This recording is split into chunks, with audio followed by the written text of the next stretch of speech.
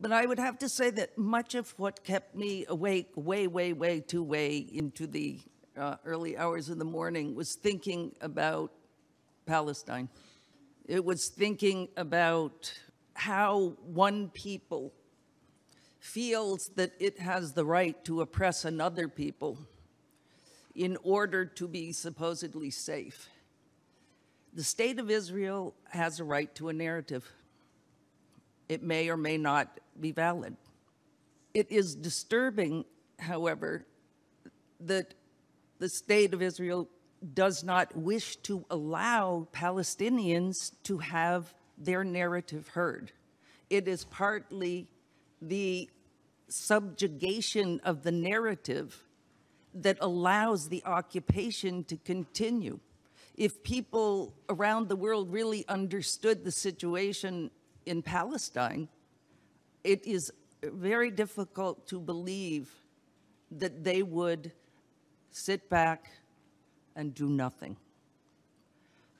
Um, I've had the, I can't say pleasure, I have been to the West Bank, um, and anyone who goes there and who emerges from there and says it is not an occupation has fallen through the looking glass of Alice in Wonderland. It is an open air prison, especially Gaza. I have a long history of finding uh, no comfort in being silent in the face of aggression by a state, whether it is my own, whether it is the state of Israel, or any other nation that feels like it can take other people's land and call it okay. In the especially because they twist national security concerns to justify the stealing of land and the oppression of people and the racism and treating them like they are less than human.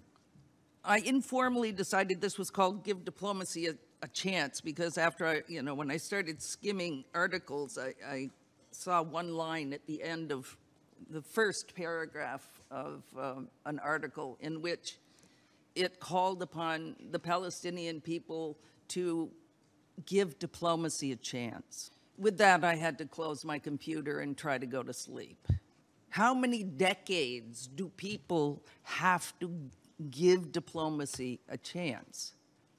It's an absurdity at this point to call it giving diplomacy a chance. If I were a Palestinian person, I would be wondering who is my partner in this negotiation?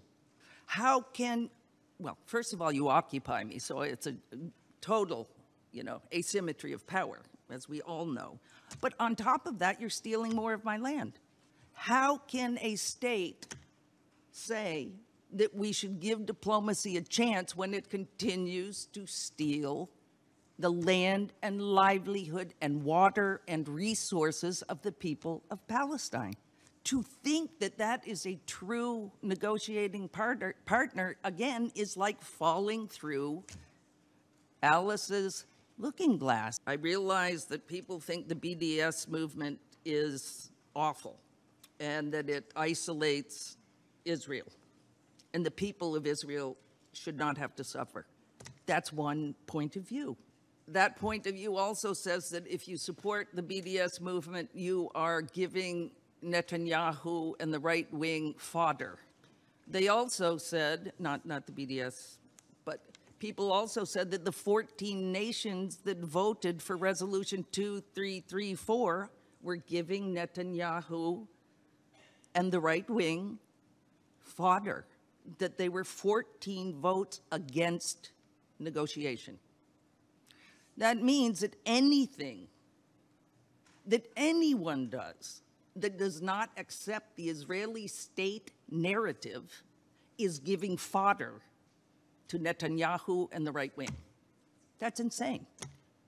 That, that implies we should all sit back and do nothing and hope that the benevolence of the occupying state will find itself and free the Palestinian people. That's not how power works. Power does not concede power without pressure. Period. We all know that. So why do we pretend that actions taken to put pressure on the state of Israel will not push the state of Israel to change its behavior. No state likes to be a pariah. Look at South Africa. You know, we're told that the BDS movement won't work, won't do anything. Well, it helped in South Africa. If the people of if the people of Israel, who many of the speakers yesterday recognized are sticking their head in the sand and willfully ignoring the reality of the occupation, if they don't feel discomfort in that, why will they do anything to change the situation? Very few people take action as long as they are comfortable. It is not that anyone wishes ill on Israeli people.